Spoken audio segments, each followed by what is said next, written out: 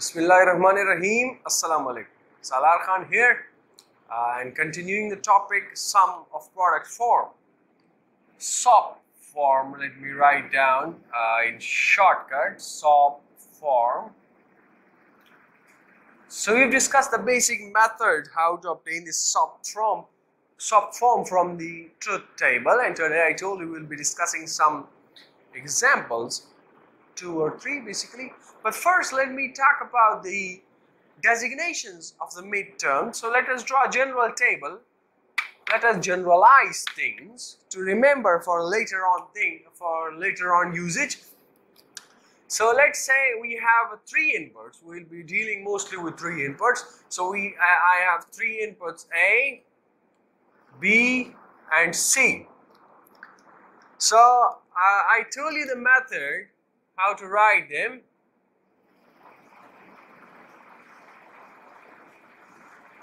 And here we have 8, okay? Then we have a 0, 0, 1, 1, 0, 0, and 1, 1. And then finally we have a group of 4. First we have one each, then a group of twos, and then a group of fours, then a group of eights, then a group of 16s, then a group of 32s, and so on. We mostly will go till a group of eights, the maximum, okay? Now, how are these terms, uh, what are the min terms for these? The min terms. The min terms, I told you if it's a zero, we take the complement so the min term for this uh, first one would be A complement, B complement, C complement. For the third, it would for the second it is A, A complement, B complement, C. Then we have A, B, A complement, B, C complement. Then we have an A complement, B and C. Then we have A, B complement, C complement. Then we have uh, A, B complement and C.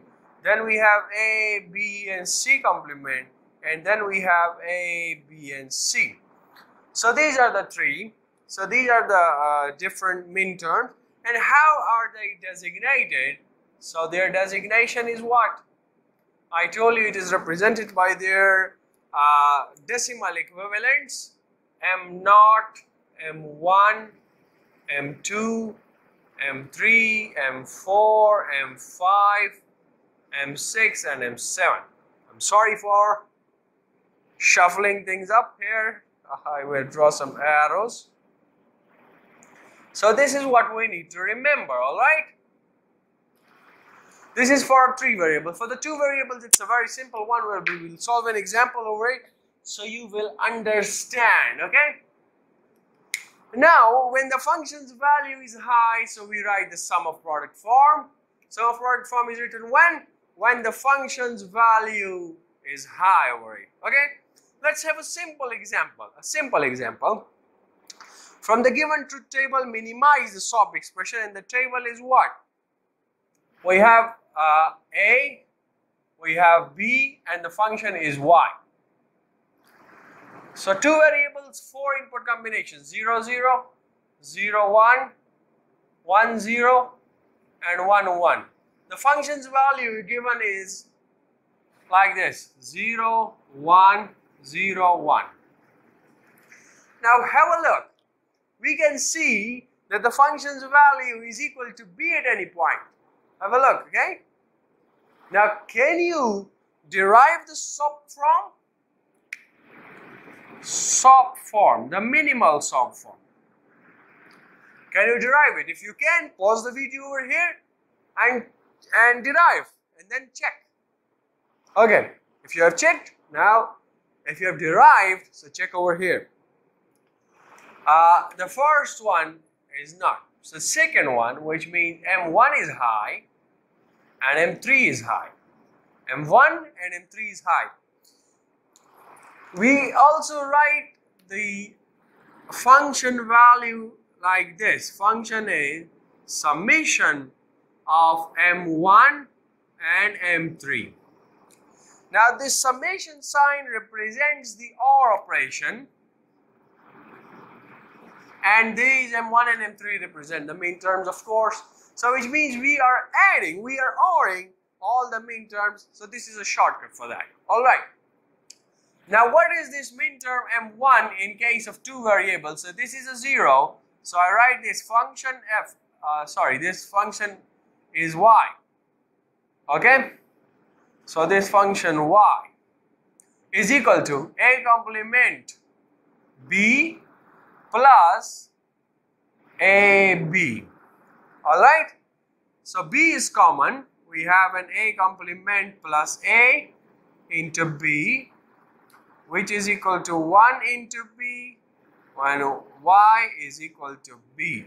So this is the minimal form and see the standard form has all the variables in it but the minimized standard form does not have all the variables in it the conditions that we mentioned in the last lecture. Alright, now we are given another example, let's say we are not given the truth table, we are not given the truth table. Let me remove this, this thing.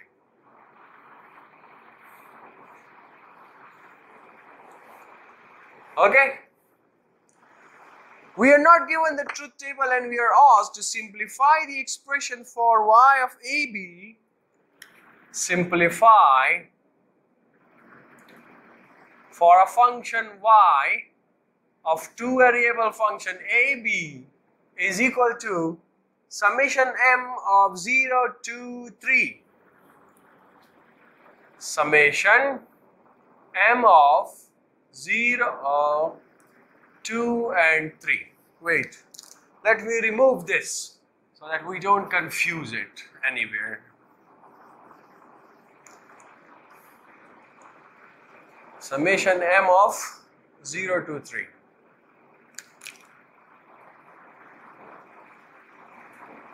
well I wrote in the last one I wrote m inside with m naught m2 and m3 that is also correct one but this method this is a, a preferable way to write the summation okay?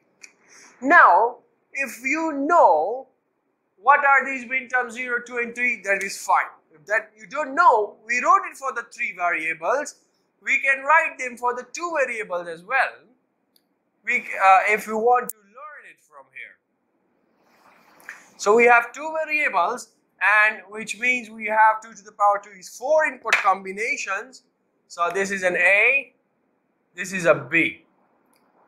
Okay, so the min term, this min term is what? This is A complement B complement. This is A complement B. This is A B complement and this is A B. And they are designated as M naught M1, M2 and M3.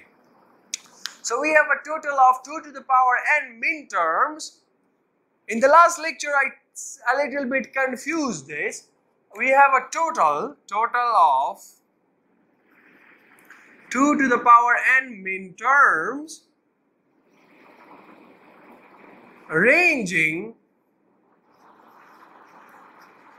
from 0 to 2 to the power n minus 1. I think in the last lecture I only said that we have total of 2 to the power n minus 1 min term which is wrong. I got a little confused I believe. We have a total of 2 to the power n term 1, 2, 3, 4 which is 4 and ranging from 0. The first one is m naught to m3 which means 2 to the power n is 4 and 4 minus 1 is 3 so its range is still 2 to the power 3. So, now look, if you know what is M naught, what is M2, one is M3, you can directly, directly write it from here, alright? If you don't know, you draw the two variables truth table, truth table, and you see it from there.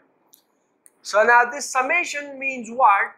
That y of AB is high at M naught plus m2 plus m3. This means this is high. The function's value is 1 over here, the function's value is 1 over here, and the function's value is 1 over here. It is 0 over here. If this column represents the uh, function's value y. Alright.